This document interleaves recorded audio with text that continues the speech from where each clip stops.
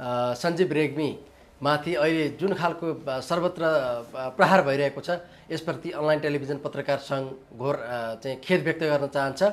खराब रौतहटमा एकजना पत्रकारलाई फसाउनका लागि प्रहरीले उहाँको चाहिँ मोटरसाइकलमा लिएर गएर चाहिँ लागु औषध चाहिँ लिएर गएर राखिदिएर अनि लागु औषधि कारोबार गर्यो भनेर चाहिँ प्रहरीले चाहिँ त्यो प्रहरीलाई के पत्रकारलाई चाहिँ पक्राउ गरेर लिएर गएर लामो समय थुनामा राख्यो।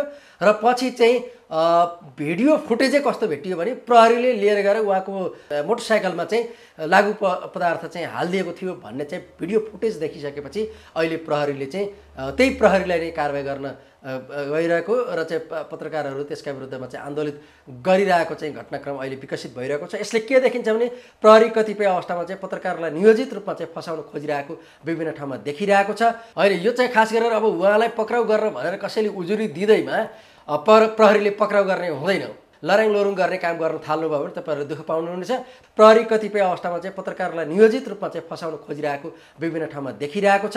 मोटरसाइकलमा चाहिँ लागु पदार्थ चाहिँ हालिदिएको थियो भन्ने चाहिँ भिडियो फुटेज देखिसकेपछि र जसलाई आरोप लागेको थियो आरोप लागेका व्यक्तिहरूले चाहिँ त्यो पत्रकारमाथि चाहिँ फेरि विभिन्न तरिकाले आक्रमण गर्ने सिलसिला अहिले चलिरहेको छ। ज्यानको धम्की दिने त्यसै गरी चाहिँ उजुरीको चाङ लगाएर हैरान पार्ने र चाहिँ सामाजिक सञ्जाल मार्फत अ, बेइज्जती गरिदिने दोषीहरूकै पक्ष पोषण गरेको सम्मको अनुभूति चाहिँ हामीले गरिरहेका छौँ। एकदम सञ्जीव रेग्मी।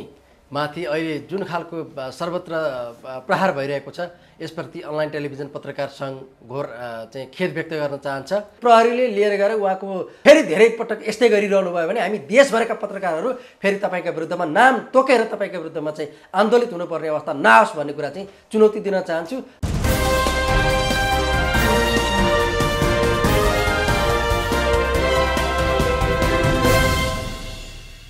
नमस्कार आदरणीय दर्शकबिन यहाँले फ्रेममा देखिसक्नुभयो। अनलाइन टिभी जर्नालिस्ट एसोसिएसन नेपालका चेयरम्यान जीवन भण्डारी। जीवनजी यहाँलाई सम्पूर्ण मिडियामा हार्दिक स्वागत छ। हस् धन्यवाद। जीवनजी अहिले पत्रकार सञ्जीवजीलाई दुःख दिने काम भइरहेको छ भन्ने कुरा चाहिँ हामीले न्युजहरू र सामाजिक सञ्जालहरूमा हामीले देखिरहेका छौँ। दुःख दिइरहेको यो अवस्थामा तपाईँ एज अ जर्नालिस्ट र तपाईँ लामो समयसम्म तपाईँले पत्रकारिताको अनुभव तपाईँको भएको हुनाले तपाईँले यो विषयलाई अहिले यसरी दुःख दिइरहँदा तपाईँलाई कस्तो महसुस भइरहेछ? खासमा अनलाइन टेलिभिजन पत्रकार सङ्घका वरिष्ठ उपाध्यक्ष तथा झन्डै बिस वर्षदेखि पत्रकारितामा क्रियाशील सञ्जीव रेग्मी माथि अहिले जुन खालको सर्वत्र प्रहार भइरहेको छ यसप्रति अनलाइन टेलिभिजन पत्रकार सङ्घ घोर चाहिँ खेद व्यक्त गर्न चाहन्छ। र यो समग्र उहाँ एकजना पत्रकार सञ्जीव रेग्मीमाथि मात्रै नभएर समग्र अहिले पत्रकारिता क्षेत्रमा देखिएको नयाँ विकृति र नयाँ च्यालेन्ज नयाँ चुनौतीको रूपमा चाहिँ यसलाई मैले लिएको छु। खास गरेर कुनै पनि विकृति विसङ्गतिका विरुद्धमा खबरदारी गर्नु त्यसको भण्डाफुर गर्नु त्यसको सार्वजनिकीकरण गर्नु चाहिँ सञ्चार माध्यमको प्रमुख दायित्व अन्तर्गत पर्छ। कुनै व्यक्तिहरूले कुनै व्यक्तिबाट पीडित भएको भनेर गुनासो प्रमाणसहित आइसकेपछि सञ्चार माध्यमले त्यसलाई सार्वजनिक गर्नुपर्छ। त्यही अनुसार सन् सञ्जीव रेग्मीजीले कुनै व्यक्तिको बारेमा व्यक्तिले ठगी गरेको भनेर विभिन्न पीडितहरू आइसकेपछि उहाँले चाहिँ खबरदारी गर्ने वा चाहिँ त्यसलाई सञ्चार माध्यम मार्फत चाहिँ समाचारको रूपमा चाहिँ सम्प्रेषण गर्नुभयो। र जसलाई आरोप लागेको थियो आरोप लागेका व्यक्तिहरूले चाहिँ त्यो पत्रकारमाथि चाहिँ फेरि विभिन्न तरिकाले आक्रमण गर्ने सिलसिला अहिले चलिरहेको छ। खास गरेर उनीहरूले सञ्जीव रेग्मीमाथि भौतिक आक्रमणको धम्की दिने त्यसै गरी विभिन्न नाममा उजुरी मुद्दाहरू लगाएर चाहिँ उहाँलाई दुःख दिने आजित बनाउने प्रयास गरिरहेका छन् भने अहिले पछिल्लो चरणमा आज मात्रै उहाँका केही व्यक्तिहरूले चाहिँ सामाजिक सञ्जालमा उहाँलाई चाहिँ गलत खालको चाहिँ आरोपहरू लगाएर गलत खालको गाली बेइज्जती र चाहिँ त्यो बदनामी गर्ने खालको उहाँलाई चाहिँ यौन दुर् दुर्व्यवहारको गरेको र चाहिँ अरू विभिन्न खालका आरोपहरू लगाएर चाहिँ उहाँमाथि चाहिँ बदनामी गर्ने र निरुत्साहित गर्ने प्रयासहरू गरिरहेका छन्। यी सबै घटनाप्रति अनलाइन टेलिभिजन पत्रकार सङ्घ घोर आपत्ति प्रकट गर्दछ र त्यस्ता व्यक्तिहरू जसले गलत आरोप लगाइरहेका छन् त्यस्ता व्यक्तिहरूलाई तत्काल प्रहरीले पक्राउ गरी कानुनी प्रक्रियाको कानुनी कारवाहीका लागि प्रक्रिया अगाडि बढाउनका लागि अनलाइन टेलिभिजन पत्रकार सङ्घको तर्फबाट चाहिँ म हार्दिक माग गर्न चाहन्छु। र यस्ता क- लाई कारवाही गर्ने कुरामा हिचकिचायो भने समग्र पत्रकारिता क्षेत्र यस्ता दोषीलाई कारवाही गराउनका लागि चाहिँ आन्दोलन गर्नुपर्ने हो कि कानुनी कारवाही गर्नुपर्ने हो कि अरू कुनै दबाब दिनुपर्ने हो कि वा अरू के गर्न सकिन्छ ती सबै कामको लागि चाहिँ अनलाइन टेलिभिजन पत्रकार सङ्घ लगायत धेरै सङ्घ संस्थाहरू छन् पत्रकारिता क्षेत्रमा काम गर्ने। तिनीहरू सबैजना लाग्नेछन् र चाहिँ त्यसका लागि सबैजनाले सहयोगका लागि समेत मैले आह्वान गर्न चाहन्छु र यो समग्र एकजना सञ्जीव रेग्मीप्रति मात्रै नभएर कुनै विकृति विसङ्गतिको भण्डाफोर गर्ने हरेक पत्रकारमाथि चाहिँ भोलि यस्तै खालका आक्रमणहरू खास गरेर ज्यानको धम्की दिने त्यसै गरी चाहिँ उजुरीको चाङ लगाएर हैरान पार्ने र चाहिँ सामाजिक सञ्जाल मार्फत अ, बेइज्जती गरिदिने प्रवृत्ति चाहिँ अहिले पछिल्लो चरणमा बढ्दै गइरहेको छ। यो भोलि सबैमाथि आइलाग्न सक्छ। त्यस कारणले यसमा पत्रकारहरू देशभरका सबै पत्रकारहरू चाहिँ यस्ता विकृति र यस्ता नयाँ खालका च्यालेन्ज पत्रकारिता क्षेत्रको नयाँ चुनौतीका विरुद्धमा चाहिँ लाग्नेछन् भन्ने चाहिँ म आह्वान गर्न चाहन्छु र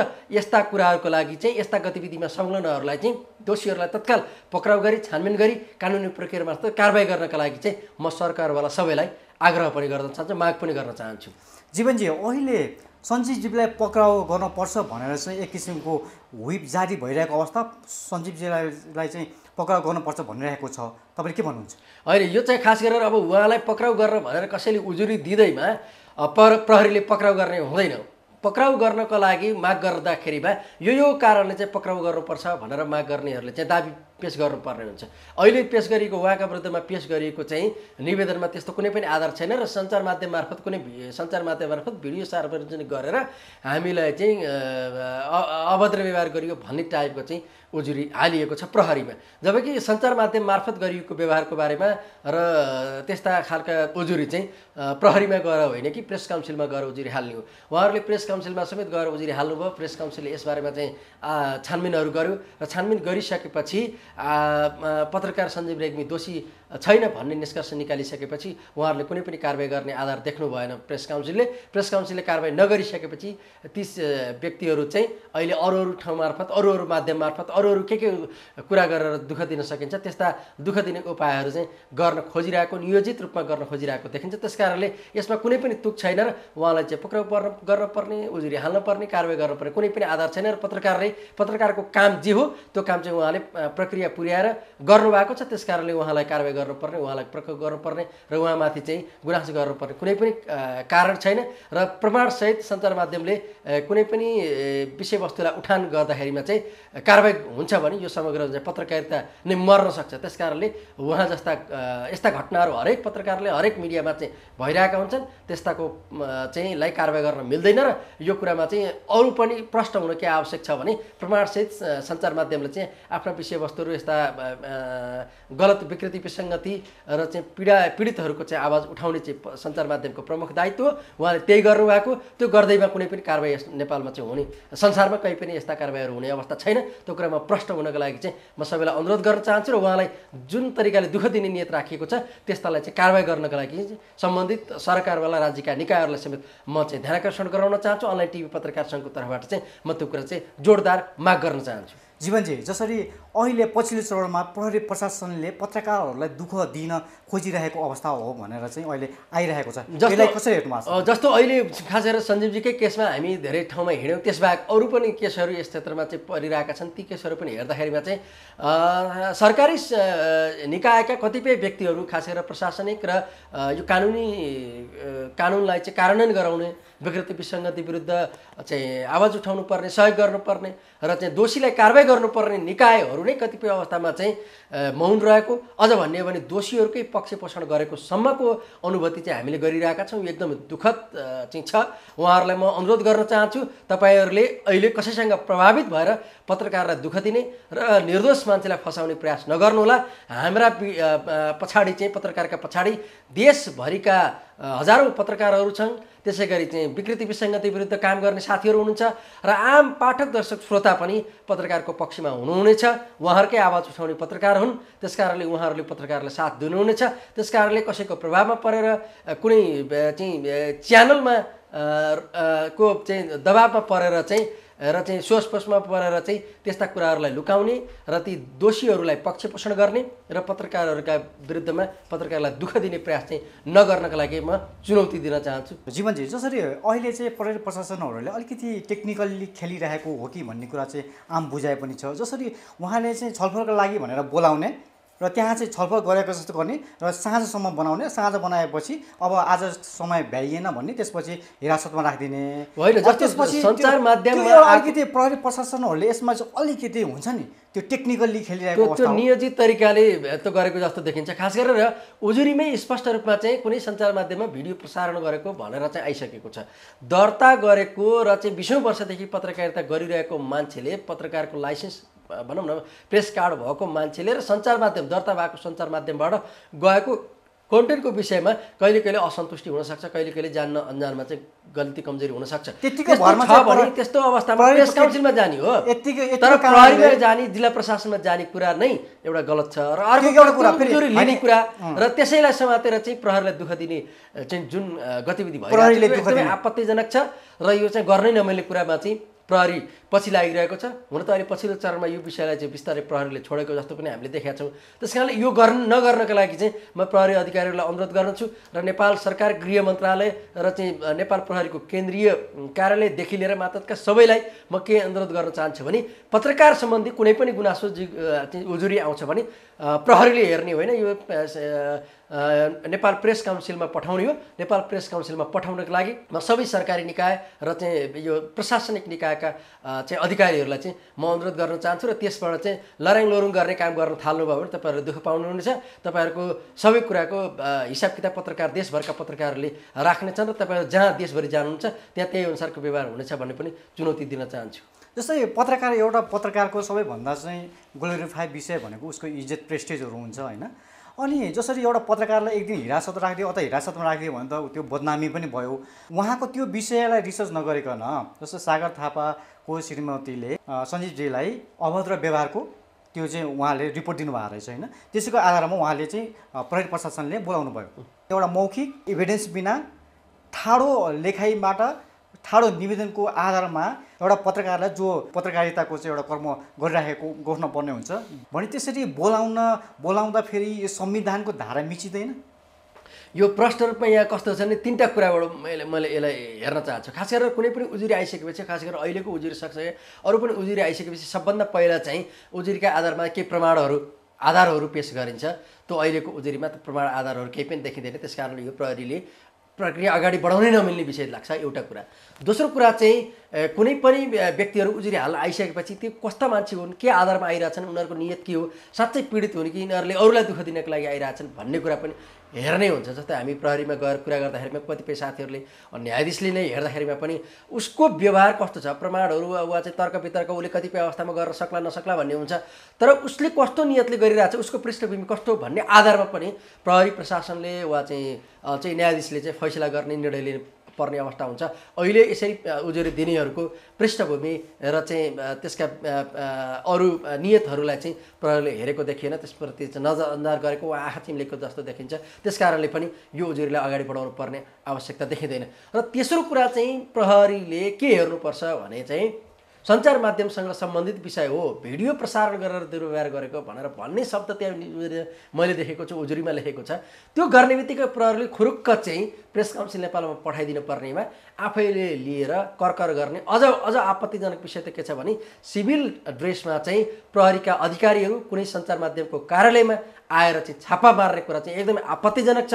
म यो देशभरका सबै पत्रकार साथीहरूको तर्फबाट अनुरोध गर्न चाहन्छु आज कुनै पत्रकार साथीको अफिसमा आएर यसो गर्दै गर्दा भोलि कुनै पनि यो चाहिँ यो विषयमा चाहिँ हामी मौन रह्यौँ र यो विषय स्थापित हुन थाल्यो भने भोलि कुनै पनि सञ्चार माध्यमहरू सुरक्षित हुने छैनन् कुनै पनि सञ्चार माध्यमहरूले विकृति विसङ्गति विरुद्ध आवाज उठाउन र चाहिँ समाचार सम्प्रेषण गर्न सक्ने अवस्था रहने छैन त्यस कारणले कुनै पनि सञ्चार माध्यममा यसरी प्रहरी सञ्चार माध्यममा प्रकाशित समाचारको विषयमा लिएर प्रहरीले छापा मार्ने कुरा चाहिँ चाहिँ कानुनले दिँदैन त्यो गर्न पाइँदैन। त्यस कारणले यो एकदमै आपत्तिजनक छ। र आगामी दिनमा यस्तो नगर्नका लागि प्रशासनका साथ साथीहरूलाई अधिकारीहरूलाई म अनुरोध गर्न चाहन्छु र देशभरका पत्रकार साथीहरूलाई पनि आज कोही मऱ्यो भन्ने भन्दा पनि कोही पल्कदैछ भन्ने कुरा चाहिँ मुख्य कुरा भनेर बुझ्नका लागि म सबै देशभरका साथीहरूलाई यो घटनाप्रति आपत्ति जनाउन र ऐक्यबद्धता र पत्रकार सञ्जीव रेग्मीको विषयलाई घटनालाई लिएर हामी यसप्रति आन्दोलित हुँदैछौँ र यो आन्दोलनप्रति ऐक्यबद्धता जनाउन पनि म देशभरका सबै साथीहरूलाई अनुरोध गर्छु। भनेपछि जसरी अहिले उहाँले चाहिँ सञ्जीव रेग्मीलाई फेरि पनि पक्राउ गर्ने भनेर चाहिँ एउटा अभ्यास गरिरहेको छ भन्ने कुरा चाहिँ अहिले हामीले चाहिँ सुन्नमा आएको छ। भने सञ्जीव रेग्मीलाई समात्न सक्ला? सागर थापा होइन जस्तो उहाँले आफूलाई आफूलाई निर्दोष तरिकाले चाहिँ प्रहरीले चाहिँ पक्राउ गर्न खोजेको र मलाई पक्राउ गर्न कुनै आधार नभएको कारणले मलाई पक्राउ गर्न रोकियोस् भनेर चाहिँ अदालतमा चाहिँ अ, उजुरी दिनुभयो र अदालतमा मुद्दा हालिसकेपछि अदालतले उहाँलाई पक्राउन पर्ने कुनै पनि आधार देखिँदैन र उहाँलाई नपक्राउनु भनेर चाहिँ आज अदालतले चाहिँ आदेश दिइसकेको छ। त्यस कारणले उहाँलाई पक्राउन चाहिँ मिल्दैन। त्यो अदालतले पनि भनिसकेको छ मिल्दैन भनेर। र चाहिँ अहिलेको निवेदनको प्रकृति र घटनाको प्रकृतिका आधारमा पनि उहाँलाई चाहिँ पक्राउ गर्न पर्ने उहाँलाई कुनै पनि कानुनी अरू कारवाहीको प्रक्रियाहरू अगाडि बढाउनु पर्ने चाहिँ देखिँदैन। त्यस कारणले यस्ता घटनाबाट चाहिँ लहर लहरमा लाग्न नलाग्नको लागि र यस्ताको पछाडि नलाग्नलाई चाहिँ म सबैजनालाई अनुरोध गर्छु। पछिल्लो समयमा रौतहटमा एउटा घटना घट्यो तपाईँलाई पनि त्यो जानकारी छ तपाईँहरू पनि जानुभएको थियो त्यहाँ। भनेपछि जस्तै प्रहरी प्रशासनको नियत अलिकति खराब रौतहटमा एकजना पत्रकारलाई फसाउनका लागि प्रहरीले उहाँको चाहिँ मोटरसाइकलमा लिएर गएर चाहिँ लागु औषध चाहिँ लिएर गएर राखिदिएर अनि लागु औषधि कारोबार गर्यो भनेर चाहिँ प्रहरीले चाहिँ त्यो प्रहरीलाई के पत्रकारलाई चाहिँ पक्राउ गरेर लिएर गएर लामो समय थुनामा राख्यो। र पछि चाहिँ भिडियो फुटेजै कस्तो भेटियो भने प्रहरीले लिएर गएर उहाँको मोटरसाइकलमा चाहिँ लागु प पदार्थ चाहिँ हालिदिएको थियो भन्ने चाहिँ भिडियो फुटेज देखिसकेपछि अहिले प्रहरीले चाहिँ त्यही प्रहरीलाई नै कारवाही गर्न गइरहेको र चाहिँ पत्रकारहरू त्यसका विरुद्धमा चाहिँ आन्दोलित गरिरहेको चाहिँ घटनाक्रम अहिले विकसित भइरहेको छ। यसले के देखिन्छ भने प्रहरी कतिपय अवस्थामा चाहिँ पत्रकारलाई नियोजित रूपमा चाहिँ फसाउन खोजिरहेको विभिन्न ठाउँमा देखिरहेको छ। प्रहरी र पत्रकार त साँच्चै भन्यो भने विकृति विसङ्गतिका विरुद्धमा चाहिँ होस्टेमा हैसे गरेर काँधमा काँध मिलाएर चाहिँ विकृति विसङ्गति विरुद्ध चाहिँ एकजुट भएर लाग्न पर्ने ए, अवस्थामा त्यस्ता पेसा व्यवसायका मान्छेहरू हुँदाहुँदै पनि कतिपय अवस्थामा चाहिँ प्रहरीले चाहिँ पत्रकारलाई दुःख दिने र चाहिँ पत्र प्रहरीले पत्रकारले चाहिँ भण्डाफोर गरेका विकृति विसङ्गति गरेका उजुरी गरेका र चाहिँ चाहिँ उजागर गरेका विषयमा चाहिँ प्रहरीले साथ दिनुपर्ने सट्टामा चाहिँ प्रहरी चाहिँ ती दोषीहरूलाई नै प्रोटेक्सन गर्नतिर लागेको पनि कतिपय देखिन्छ। मैले यो भन्दै गर्दा पटक पटक प्रहरीको कुरा गरिरहँदा देशभरिका सबै प्रहरीले त्यसो गरिरहेका छन् भनेको होइन।